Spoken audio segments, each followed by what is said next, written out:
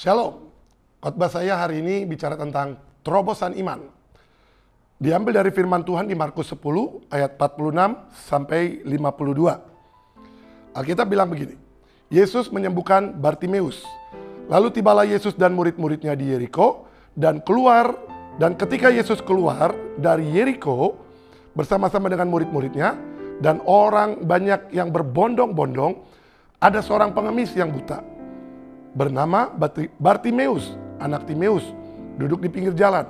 Ketika didengarnya bahwa itu adalah Yesus orang Nazaret, mulailah ia berseru. Yesus anak Daud, kasihanilah aku. Banyak orang menegurnya supaya ia diam. Namun semakin keras ia berseru, anak Daud, kasihanilah aku. Lalu Yesus berhenti dan berkata, panggillah dia. Mereka memanggil orang buta itu dan berkata kepadanya, kuatkan hatimu, berdirilah, ia memanggil engkau. Lalu ia menanggalkan jubahnya, ia segera berdiri dan pergi mendapatkan Yesus. Tanya Yesus kepadanya, apa yang kau kandaki supaya aku perbuat bagimu? Jawab orang buta itu, Rabuni, supaya aku dapat melihat. Lalu kata Yesus kepadanya, pergilah, imanmu telah menyelamatkan engkau. Pada saat itu juga melihatlah ia, lalu ia mengikuti Yesus dalam perjalanannya. Saudara, kita tahu ini bicara tentang kesembuhan seorang yang buta bernama Bartimeus. Saudara mungkin pernah dengar beberapa kali cerita tentang hal ini, tapi biar ini sekali lagi menjadi perenungan untuk kita mereview hidup kita. Bahwa hari itu seorang pengemis yang bernama Bartimeus dan dia duduk di pinggir jalan. Hari itu Yesus berjalan melintasi kota Yeriko dan saya percaya ini bagian dari satu perjalanan kehendak Bapa untuk dia harus lintasi dan dia harus menemui seorang yang bernama Bartimeus. Nah, perjalanan yang dia lakukan memang sepertinya tidak ada respon dari banyak orang yang mencoba membuat dia melakukan sesuatu atau perbuatan mujizat. Nah, tapi di tengah jalan, Alkitab mengatakan ketika Yesus hendak meninggalkan kota Yeriko, artinya di sepanjang jalan itu ada begitu banyak orang yang mereka tidak tahu siapa yang sedang berjalan melintasi kota itu.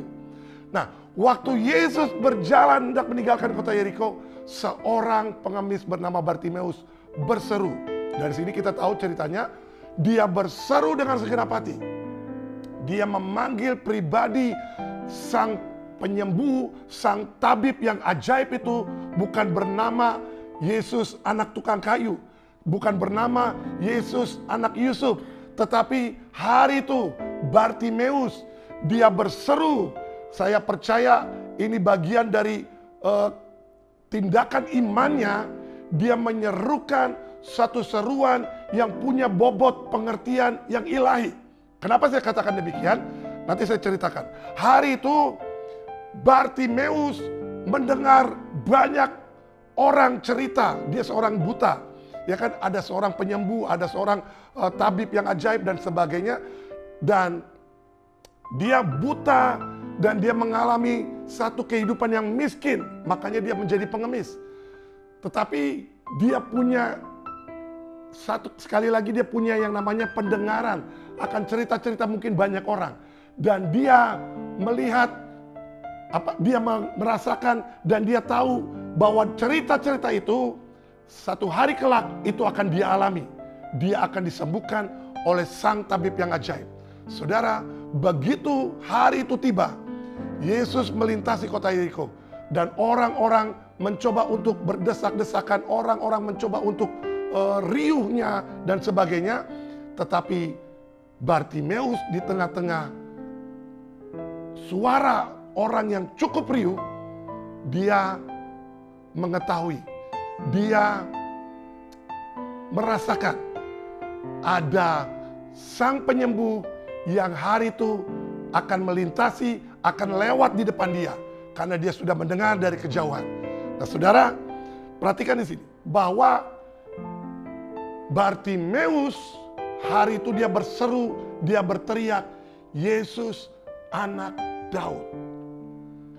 Pertanyaannya, dari mana dia memperoleh pernyataan Yesus anak Daud dengan segenap hati dia menyerukan untuk memanggil pribadi Tuhan Yesus. Saya percaya Bartimeus hari itu dia punya perenungan lewat cerita-cerita banyak orang yang diceritakan kepada hidupnya bahwa Yesus yang sang penyembuh itu, Yesus yang juga keturunan dari Raja Daud, keturunan dari suku Yehuda, Yesus yang juga menyembuhkan banyak orang, hari itu dia percaya, dia sekali lagi tidak mau melewatkan kesempatan ini. Waktu Yesus sedang melintasi kota Yeriko, dia menyerukan, Yesus anak Daud. Kasihanilah aku. Yesus anak Daud, dia berseru, disuruh diam, dia makin teriak berseru. Saudara, pernyataan tentang Yesus anak Daud itu ternyata nubuatan yang sudah pernah ditulis, yang sudah pernah dicatat di ribuan tahun yang lalu di zaman Nabi Yeremia. Saya bacakan firman Tuhan di kitab Yeremia 23 ayat yang kelima. Firman Tuhan dikatakan begini, ayat yang kelima dan yang keenam. Sesungguhnya waktunya akan datang, demikianlah firman Tuhan, bahwa aku Tuhan akan menumbuhkan tunas adil bagi Daud. Ia akan memerintah sebagai raja yang bijaksana dan akan melaksanakan keadilan dan kebenaran di negeri. Dalam zamannya Yehuda akan dibebaskan dan Israel akan hidup dengan tentram dan inilah namanya yang diberikan orang kepadanya. Tuhan keadilan kita. Bartimeus memang dia buta. Bartimeus memang dia seorang pengemis. Tapi Bartimeus dia punya iman yang melonjak. Dia punya pengertian tentang pribadi siapa yang dia serukan. Dia menyerukan dengan pengertian. Dia menyerukan dengan segenap hati. Dengan ke kekuatan yang dia himpun untuk dia menyerukan sesuatu yang akan menjadi kesembuhan dalam hidupnya. Saudara, detik waktu Yesus dipanggil Yesus anak Daud. Hari itu Tuhan Yesus langsung ingat akan nubuatan, akan firman yang pernah ditulis di kitab Yeremia. Dan saya percaya setiap kita ini dalam hidup yang mungkin mengalami kemiskinan, begitu mengalami kemelaratan, begitu mengalami kesusahan. Mari saudara, kita punya pengejaran akan Tuhan. Kita punya bukan sekedar kita berseru kepada Tuhan, tapi kita punya pengenalan. Kita punya pengejaran yang sekali lagi itu membuat kita itu punya pengenalan akan Tuhan. Dan itu membuat surga langsung berespon kepada pribadi Yesus bahwa hari itu yang diserukan oleh Bartimeus. Bartimeus bukan cuma sekedar berseru, tapi Bartimeus sedang memberikan penghormatan kepada Tuhan sebagai raja, raja yang adil, hakim yang adil, yang Alkitab mengatakan di, diberikan orang kepadanya Tuhan keadilanku, Tuhan keadilanku. Yesus anak Daud, Tuhan sebagai raja yang dimuliakan. Anak Daud artinya Yesus lahir dari keturunan Raja Daud raja yang dihormati dari masa ke masa. Dan Yesuslah sebagai keturunan dari Raja Daud yang punya yang yang punya empunya langit dan bumi yang sekali lagi manusia harus melakukan penghormatan yang setinggi-tingginya. Dan itulah yang Bartimeus terukan. Bartimeus dengan segenap hati.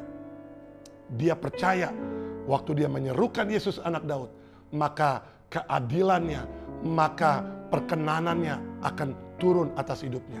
Yang kedua, Alkitab bilang begini, hari itu Bartimeus sedang duduk di pinggir jalan. Saya percaya Bartimeus ini adalah orang yang tidak sendirian. Oke, dia pasti punya teman atau segerombolan orang-orang yang duduk di pinggir jalan yang di mana secara tradisi kehidupan di Timur Tengah kalau sudah ada pengemis maka akan ada teman-teman rekan-rekan pengemis lainnya duduk di pinggir jalan. Dan saudara tahu orang-orang yang duduk di pinggir jalan itu bukan cuma pengemis, itu itu juga adalah seorang pedagang, itu juga adalah seorang yang uh, mereka pekerja-pekerja harian, ya kan, buruh harian. Nah, hari itu Yesus berjalan melintasi kota Yeriko. Dia tidak berjalan di pinggir jalan. Yesus dikerumuni oleh banyak orang berjalan di tengah jalan. Ada orang-orang yang di, berjalan bersama dengan Yesus, berjalan di tengah jalan. Ada orang-orang yang duduk di pinggir jalan hanya mengamat-amati orang yang lewat, orang yang lalu lalang. Apa yang saya mau ajarkan di sini? Saudara, ini yang menjadi bagian dalam kehidupan kekristenan kita yang harus kita uh, sadari bahwa sering kali Tuhan mau menyatakan terobosan iman dalam hidup saudara dan saya, yaitu waktu saudara berada di pihak Tuhan. Sekali lagi, waktu saudara berada di pihak Tuhan. Kenapa saya katakan demikian? Yesus sedang berjalan, saya percaya orang-orang banyak mengikuti dia. Dan orang-orang tersebut adalah orang-orang yang hidupnya punya kemenangan, hidupnya sudah dibebaskan, sudah dipulihkan, dan mereka berjalan bersama Yesus. Tetapi ada golongan orang-orang yang duduk di pinggir jalan yang mereka hanya orang-orang yang menunggu, menanti-menantikan datangnya pertolongan dari manusia. Nah, ini yang menjadi perbedaan anak Tuhan di zaman sekarang. Apakah saudara orang-orang yang hidup berjalan bersama dengan Tuhan atau saudara orang yang duduk di pinggir jalan yang hanya mungkin bisa cerita ke kanan kiri, hanya mungkin bisa menilai atau mencoba mencemooh atau mencoba untuk atau coba mungkin berpikir segala sesuatu yang lewat, segala sesuatu yang Tuhan lakukan, segala sesuatu yang Tuhan perbuat itu mustahil dalam hidupku, itu mustahil bagi hidupku. Atau saudara memilih aku akan jalan sama Tuhan.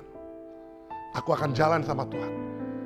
Pelajaran tentang Bartimeus, orang-orang yang duduk di pinggir jalan dan ada orang-orang yang berjalan bersama dengan Yesus. Saudara di pihak mana? Mari kita memilih kita di pihak Tuhan. Mari kita memilih kita berjalan bersama Tuhan. Maka kita akan melihat mujizat demi mujizat, pengajaran demi pengajaran, keilahian demi keilahian yang Yesus lakukan dalam hidup saudara dan saya. Biar firman ini menjadi berkat buat hidup kita. Tuhan Yesus memberkati.